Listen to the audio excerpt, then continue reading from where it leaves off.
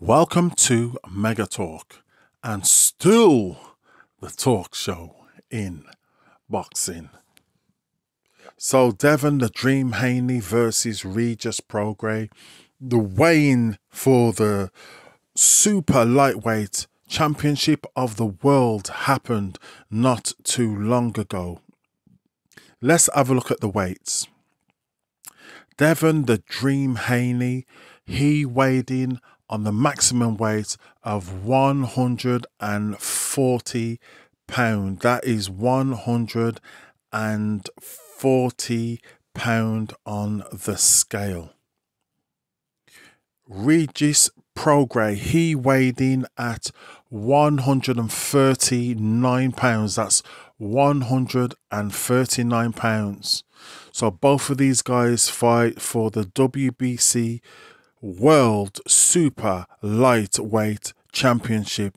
Remember, Devin Haney, he's moved up from lightweight. He's given up all his belts, the undisputed belts, WBC, WBA, IBF, WBO belts, to move up a weight because he says that he could no longer make that limit without a struggle to now fight the WBC champion in Regis Prograis. What's funny is that Devin Haney is definitely taller than Regis Prograis and bigger in size, but Regis Prograis is classed as the knockout specialist.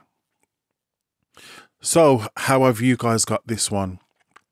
Pretty even, you know, because Devin is 30 wins 15 knockouts, no losses, and Regis Prograis is 29 wins, 24 knockouts, and one loss. And can I just say, the one loss that Regis Prograis had, I don't know if he had lost that one. I really don't know if he had lost that one. And the last two fights, what both of these fights have had, they've not been that impressive, especially Regis Prograis' last two fights. Devin, he fought against a great, great, great fighter in Lomachenko. And some people argued that he lost the fight. One thing what I do like about these guys was their face-offs were proper face-offs. Their face-offs was no talking, just looking straight in each other's face for ages and ages and ages. Regis Prograis done a facial um, reaction, and then sometime later, Devin did. And then when they turned away, then they celebrated, and then that's when they started to give it the large. But I must say, I really, really like the way that both of these guys did their face off. Who have you guys got as a winner for this one here? This one's going to be a big one. Tune in tomorrow. This one's going to be on DAZN. If I was going to give a winner, who would I pick?